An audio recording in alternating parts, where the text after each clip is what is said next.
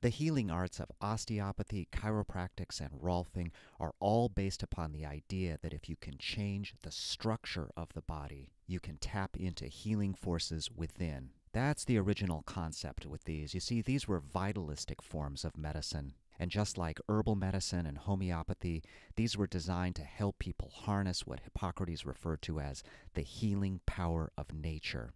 If you have blockages in the body, such as constriction of the muscles or rigidities of the joints, these not only can cause pain, but they can also restrict blood flow, which will impair the organ function, thus ultimately leading to poor health. If you look at the old books on osteopathy, for example, you can see that this was used to treat pneumonia, heart disease, kidney disease, mental illness, anything really. And these therapies have been around for a long time. D.D. Palmer, the founder of chiropractic medicine, said, This art has been practiced for thousands of years.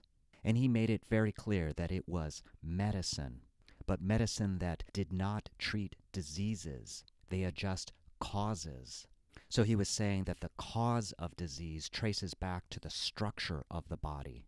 It's when things get locked up. That's the original cause. Now, when you read his original quotes, you can see he was being very absolutist about this, and I actually don't encourage people to look at it that way. What I'm saying is that structural healing is one important component of the healing process. So, for example, in my work, you know, I'll give remedies such as herbal remedies or homeopathic remedies, dietary prescriptions. I'll suggest lifestyle changes.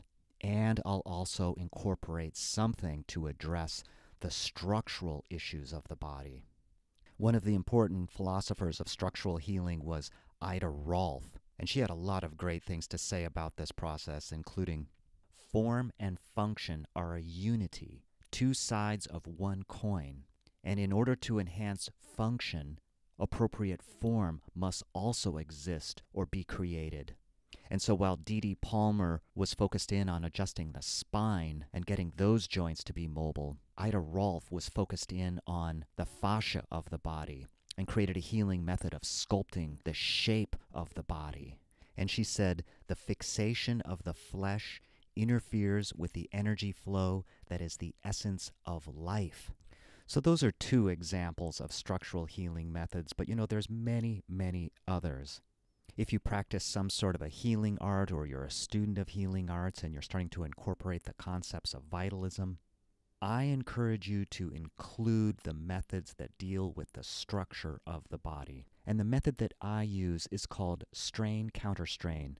This method was developed by an osteopath in eastern Oregon named Lawrence Jones, and what I find is that it is a very gentle, simple, and reliable way to help people release what could be lifelong patterns of constrictions.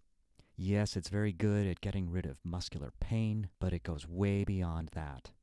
And so in the next video, I'm going to describe how this method works and how you can incorporate the principles of strain counter strain into your work if you're an herbalist or homeopath or whatever vitalistic approach to healing you use.